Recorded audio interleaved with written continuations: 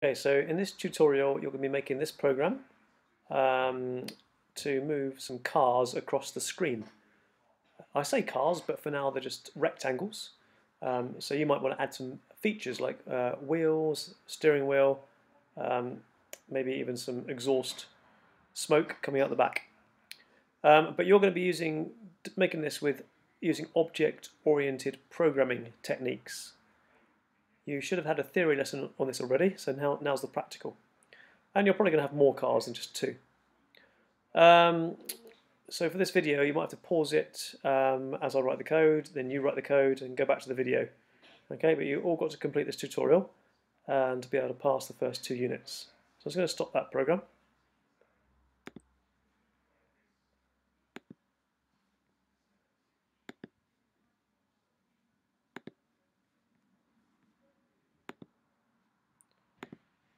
Okay, so we're going to write the code um, to produce these cars using object-oriented programming. Um, now the first thing I'm going to do is just going to rename this here and call it, whoops, okay we'll rename that in a minute. Um, so what I'm going to do is I'm going to create a class. Now you can create the class just in here but I'm going to use this tab to create my class. And the reason I'm doing that is so the class, the code for the class is separate to the rest of the code. So it, my main program is going to be here, and on this new tab is going to be the code for the class. So I'm going to do a new tab, and I'm going to call it car with a capital C. Remember what I said in a theory lesson, um, classes should start with a capital letter. So car with a capital C. Okay.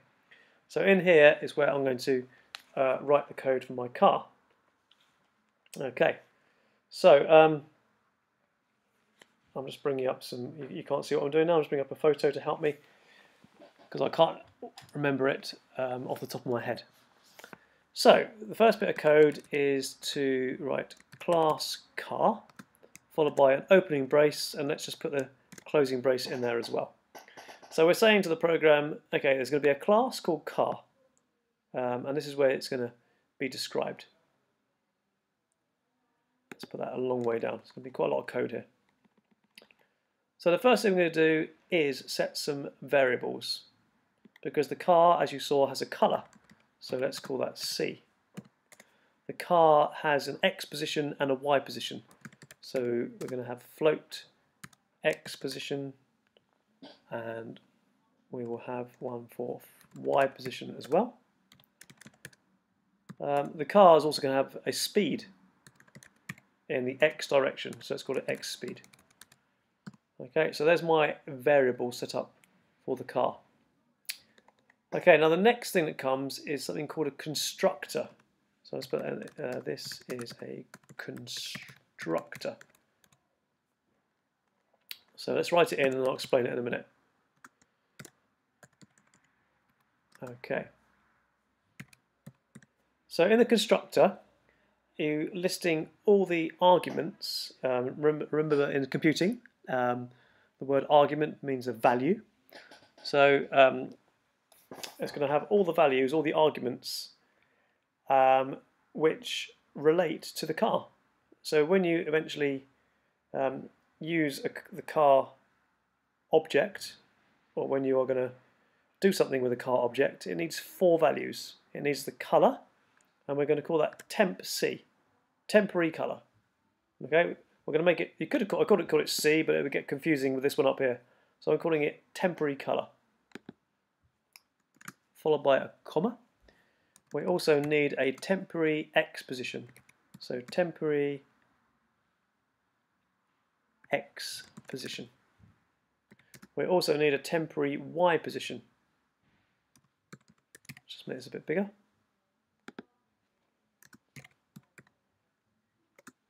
Oops.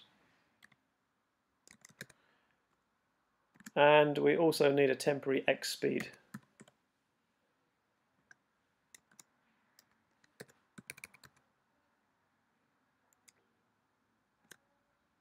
Okay.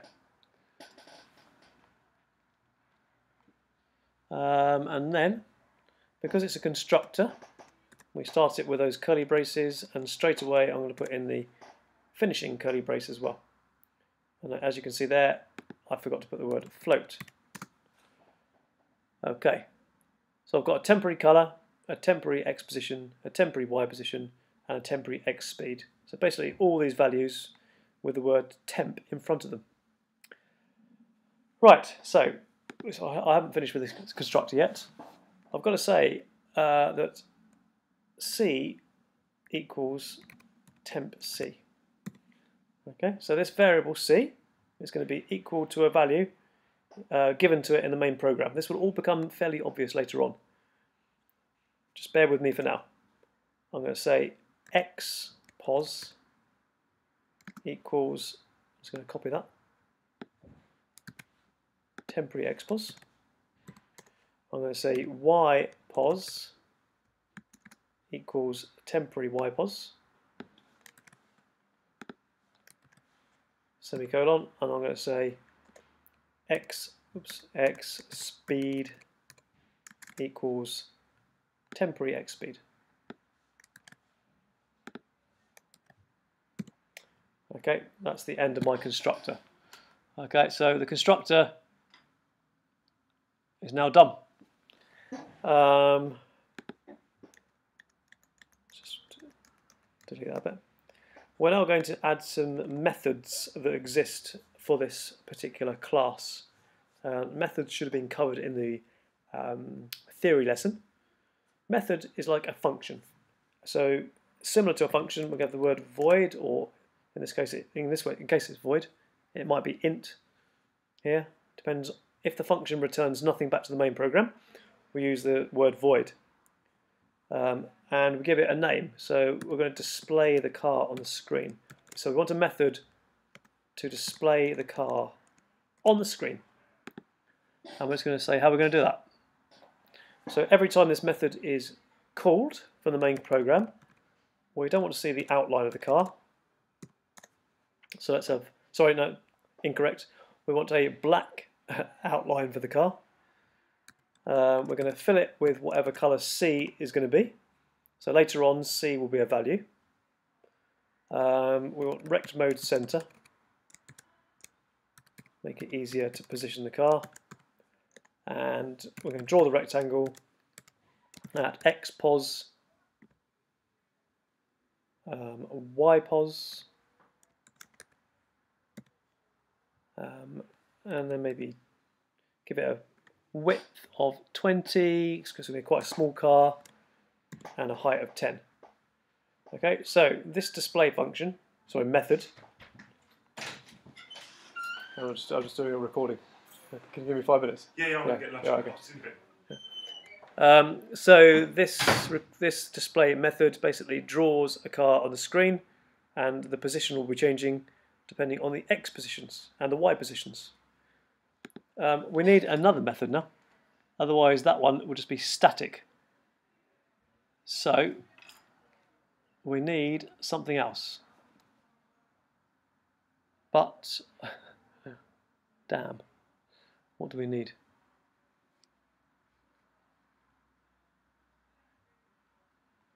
I think I might have to stop this video.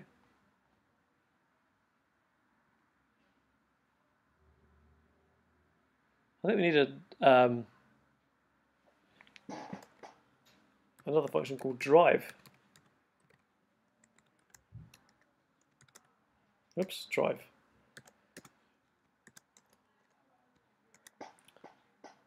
and we want the x position to be updated every time we use this function. So we're going to go x pos equals x pos plus 1. And we're going to say if x pos is greater than the width, then reset it back to 0. Otherwise the car will shoot off the end of the screen and you'll never see it again. So x pos equals 0. Okay, so let's have a recap. We have created a class called car with a capital C. It's going to have four values associated with it. It's going to have a colour, an x position, a y position, and a speed. In fact, that should be there. That should be not plus 1 plus x speed. My bad. Because um, it might change. It might be 1, it might be 10. Depends what speed it's going. We then have a constructor. This is the bit. This is the weird bit. You might have to Google uh, what is a constructor for a class, but it's basically giving it temporary values. Um, you then have a method called display, which allows the car to be displayed on the screen. Um, a method called drive, which makes it move or makes it drive. And if it gets to the end of the screen, it resets back to zero. So that's the class done. We're now going to go to the main program. So I'm just clicking the tab back to the main program. So in the main program, we're going to have two cars. So capital C for car, my car one, and capital C, my car two. Okay, so this program is going to have two objects, one called my car one, which belongs to the class car, and another object, my car two, which also belongs to the class car. Okay, then we go for void setup. Let's do void draw whilst we're here. So invoice setup, let's have a canvas size of 200. Let's keep it fairly small for now. You might want to make yours bigger. Um, and then let's give birth to a new car. My car one equals new. That means we're going to give birth to a new car. Car. And this is where we give it some values. Let's give it a colour of um, red, I think. 255, comma 0, comma 0. Let's give it a x position of 0, so it starts from the left. Let's give it a y position of uh, 100, so it starts halfway down and let's give it a speed of 2. So it's going to go 2 pixels. It's going to move 2 pixels every time. So I'm going to copy and paste that but change some of the values for, for the second one.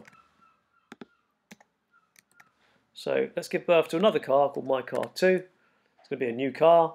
Let's give it a different colour. Let's make it maybe green or something, or blue. Red, green, blue. Let's make it start at the left hand side, but let's make it start up the top, and let's give it a speed of 1. Okay, so um, what that does takes all those four values into the um, into these into these methods. Okay, so these these those four values. So C will be the color. There's the X pos. There's the Y pos, and there's the speed. Okay, so those values are transferred uh, to these methods here. We then need to use simple commands such as background. Let's have a white background. You can change it if you want. Um, so I want my first car to, to be to drive, or to, you can. It doesn't matter which way around you do it. My car one dot drive. My car one dot display. And then we're going to do the same for my car two.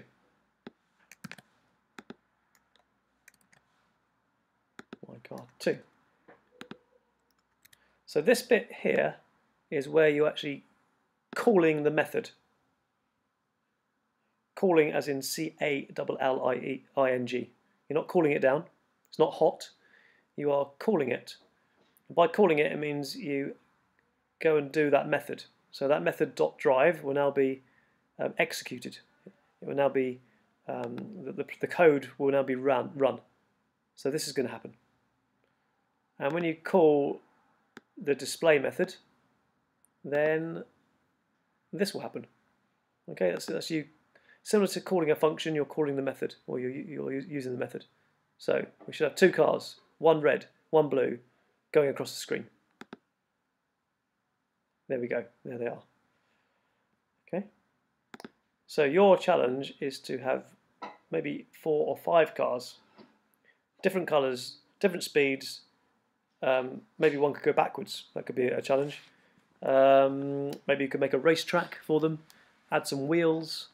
Okay, so if you're going to add some wheels and things like that, you might have to um, think about adding some extra code in the display function for the wheels, or you might have a separate method called void wheels. There's loads of ways you can do it. If you don't feel confident, just keep them as standard rectangles.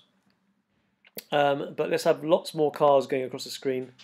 Um, let's have different speeds, maybe, and your ultimate task, and I'll write this will be written in an assignment, will be to have some audio with it, either a soundtrack for the cars to drive along to, or maybe a car noise.